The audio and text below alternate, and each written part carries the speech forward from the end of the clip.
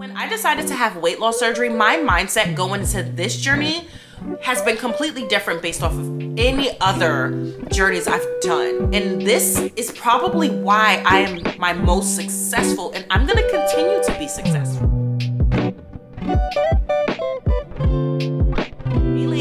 Welcome back to my channel. And if you're new here, hi, my name is Janeé. I make a lot of content centered around wellness, self-development, and becoming your best self both internally and externally. So if that sounds like something you're interested in, go ahead and hit that subscribe button, like this video if you like self-development content, and comment down below some of your best self-development tips, books, podcasts. Let me know all the tea down in the comments below. So in today's video, I wanted to talk about how to heal your relationship with and how you know you healed your relationship with food after weight loss surgery. So there has been a lot of chatter about food choices over on TikTok, which if you're not following me on TikTok, go ahead and follow me. We have a lot of these type of conversations over there. But there has been a lot of controversy and hot takes and conversations around food choices, whether that's drinking after weight loss surgery, fast food, celebratory food, desserts, all of that stuff. And it made me start thinking about my own food choices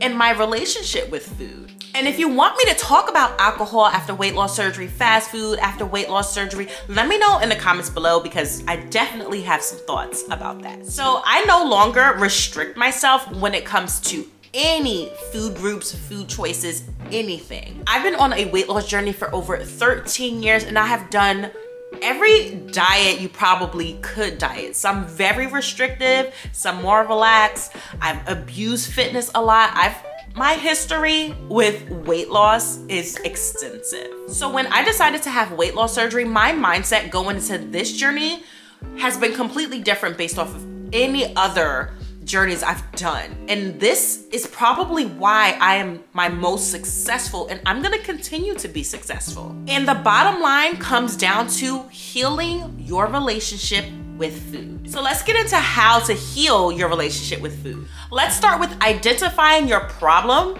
with food, and this can be multiple things. For me, because of all of the restrictive dieting I've done, I developed a binge eating disorder, and a lot of us are developing one. I would also overeat and eat until I was beyond full. And this wasn't just on junk food, this was healthy food.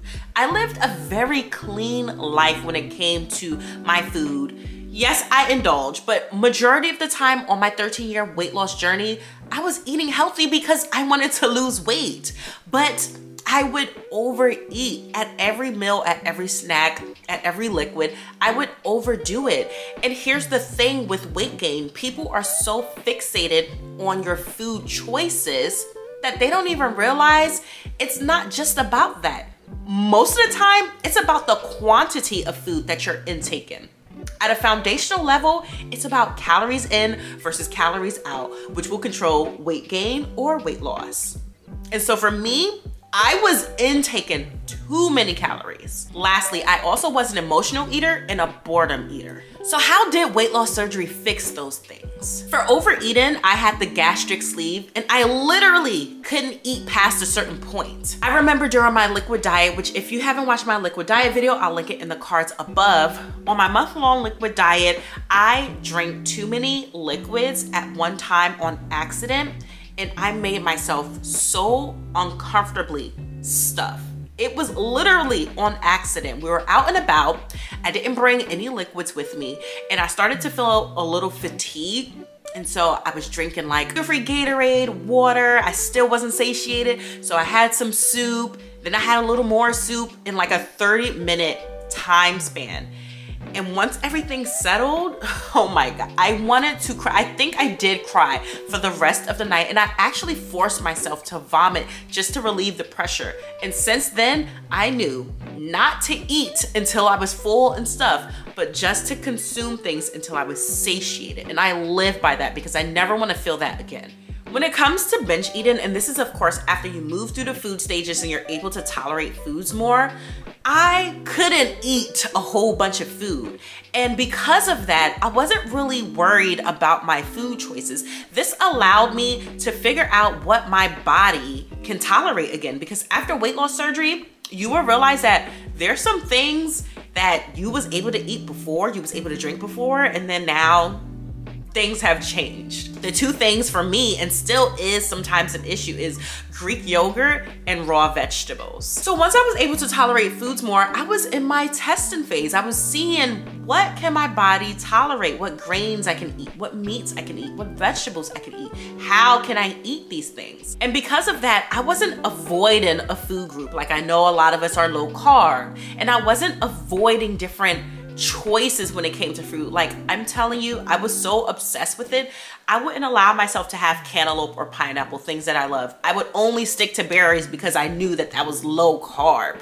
Ridiculous. Once I started testing out the different foods and realizing I'm not gaining weight. Yes, because I can't eat a lot of foods, but I'm not gaining weight because of these different food choices. They're, they're non-factor. Like I'm intaking food that makes me happy, that's nourishing my body, and I'm still losing weight. And this is when moderation and balance started to work its way into my weight loss surgery journey. Now, when it comes to emotional eating and boredom eating, this is still a work in progress. And honestly, I think that it's going to continue to be. This is when leaning on your healthcare providers will come into play. If you are an emotional eater, go ahead and seek therapy, specifically someone who deals with food or bariatrics and talk to them and start digging in to see where that link is coming from. Ask your healthcare providers about weight loss medication. I was taking Contrave, which is a weight loss medication, and that was helping with the food noise, and that also helped with my boredom eating.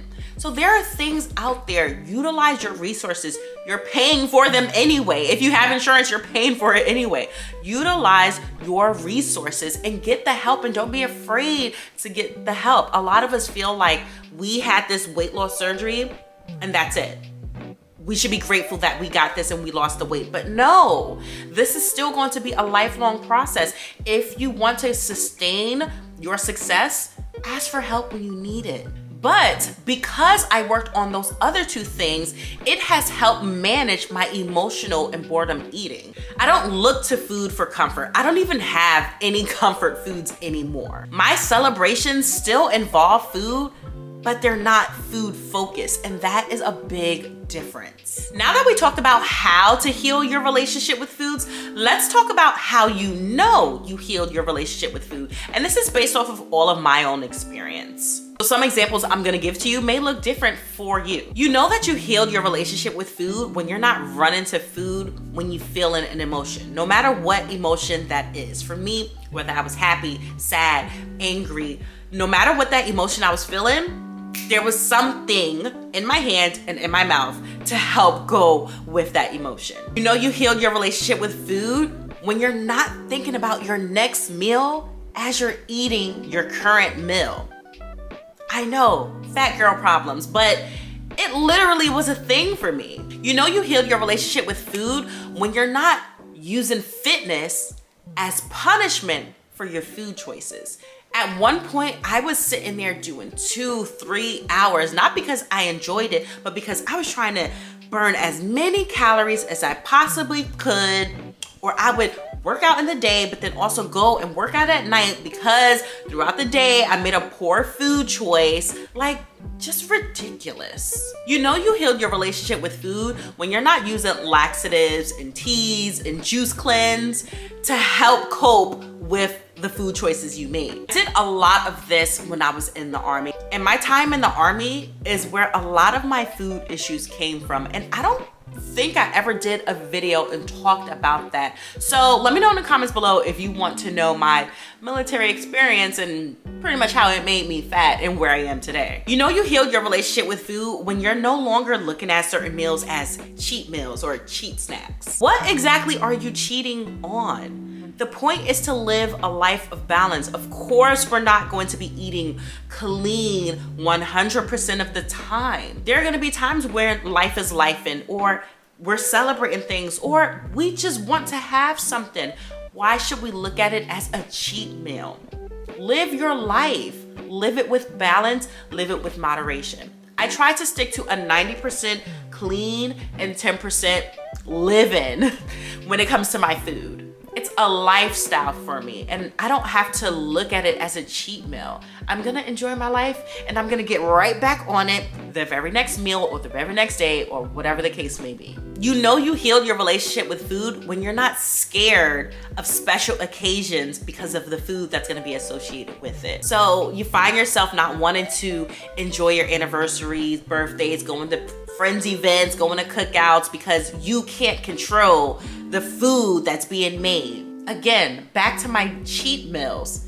Live your life sis. I look at it like this. If one bite or one meal of something is going to make me spiral out of control and go on a full day binge, a full week binge, then I need to go back to the first part of this video and continue to work on my relationship with food. Because to me, that says that there is a separate issue that's going on that's outside of the food choice. Because like I said again, I used to go crazy on healthy stuff. So there's something more internally, mentally, that's going on than the food that's going in my mouth.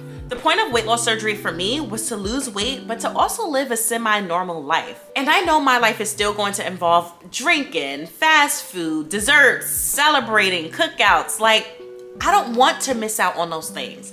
And now I don't have to because of the work that I put in. I hope this video was helpful to you ladies. I just wanted to give you some tips and tricks on how to know if you healed your relationship with food and how to go about it if you want to start healing that relationship. You can connect with me over on my TikTok or my Instagram. This is where we're having these type of conversations in the moment you can definitely hit me up in my comments a lot more over there. So go ahead and follow me. I would love to continue this conversation down in the comments below right here. How did you heal your relationship with food? What are some tips that you did that can possibly help someone else and also help me? So let us know in the comments below. If you enjoyed this video, make sure you give it a big thumbs up, share it with someone who needs it. Go ahead and hit that subscribe button if you haven't already and hit that bell icon that way you're notified every single time I post a new video. I hope you ladies have a fantastic day. And if you're watching this on Valentine's Day, happy Valentine's Day, happy Galentine's Day to you, girl. Enjoy your meals, enjoy your drinks today, and get back on it. And I'll see you ladies in my next video. Bye, girly. Bye. Thank you